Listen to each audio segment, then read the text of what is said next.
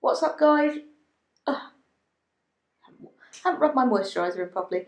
What's up, guys? It is Friday, and I'm about 10 minutes away from leaving to go to London. Um, well, I'm not actually going to London straight away.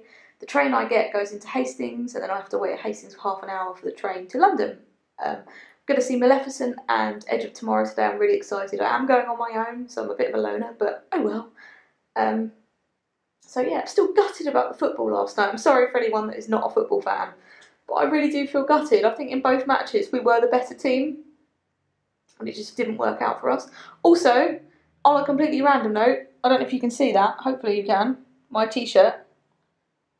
Maybe you can see it. Not really sure. This is one of the t-shirts I bought yesterday. It's not black, which is a triumph for me. I was a bit disappointed actually in the t-shirt selection. There were loads and loads and loads of t-shirts in the men's section in Primark, because that's where I get my t-shirts from. Um, but a lot of them were black. Or they didn't have my size, which was really annoying. Um, and you can't take your basket into the changing room. So I'm standing there with eight items or more in my basket. Having to get them all out while I've got other things in my hands. And the woman for the changing room was really rude. So that irritated me. And then I spilled beer on my back by accident because they were giving out these little free cans of, um, I think it was Foster's with citrus. Oh, that was horrible. And I finished it. I thought I'd like, you know, completely drain the can. So I put the can in like a side pouch on my bag. And then I, when I was getting my stuff out of the basket, I leant forward and I got my t-shirt wet. So, moral of the story is don't put cans in your side pockets, kids. I'm so random. I do apologise if anyone thinks I'm too random for them. Um, also, thank you to all the new subscribers that I've got. I noticed this morning I've got three or four new subscribers. That's really cool. Welcome. Um, oh, I've spent the last sort of 15 minutes trying to catch up with some comments on my videos. I haven't got through all of them yet through fear of um, leaving late and missing my train, but I will be catching up over the weekend. Also, there'll be a desk tour going up this weekend. It is very brief, and I'm only showing the top part of my desk because the lower part is a complete mess, and I'm not going to show that to anyone. Um, so I hope you guys enjoy that.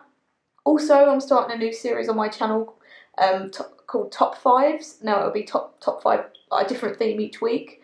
Um, so look out for that one as well. Um, if you've got any ideas for videos you'd like me to record or topics you'd like me to talk about, please do let me know in the comments. Also, I'll be doing a Q&A video soon, so if you have any questions for me, leave them in the comments below, or you can submit a question to me on my website, which is devilishlydeviant.net.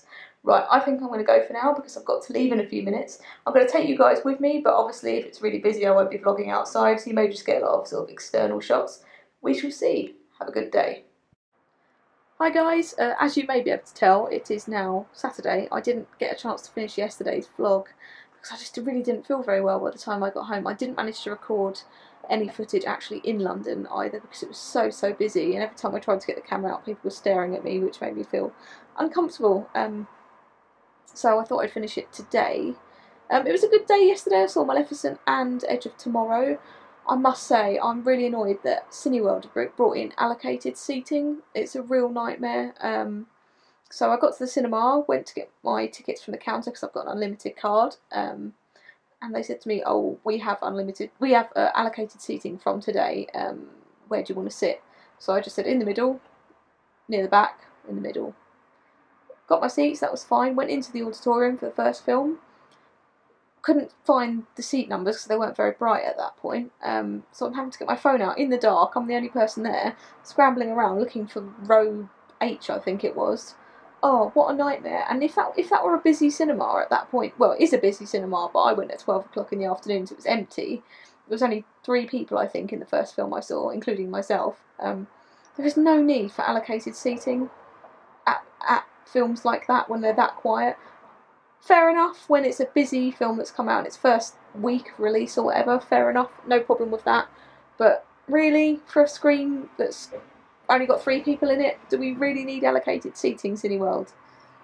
Probably not. Um, the same happened for the second film as well. I had to find my seats. The worst part is you've now got people coming in later and looking around for their seats and disturbing other people because um, they can't find their seats and they're getting their bloody cameras out and you know their phones out with the torches on and everything. Oh, it pissed me off so much. So excuse my language, but it really, really wound me up. So do bear that in mind if you're going to a Cineworld soon. Um, you do have to have allocated seating now.